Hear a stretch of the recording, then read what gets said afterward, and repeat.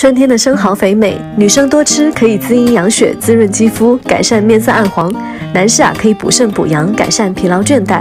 难怪都说生蚝是女士的美容院，男士的加油站。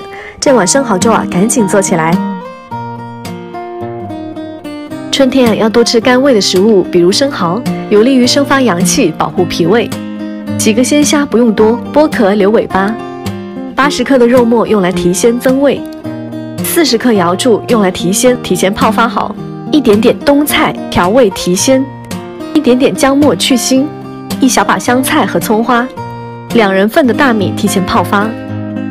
水三分开的时候就下大米，大米煮到五分开的时候就下瑶柱、冬菜、姜末这些配料，先把米粥啊熬出鲜味，然后就下肉末，把肉末搅散。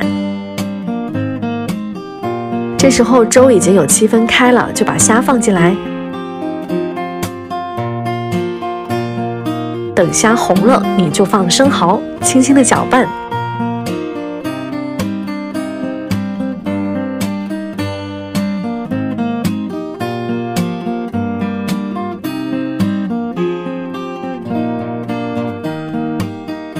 出锅之前撒上葱花和香菜。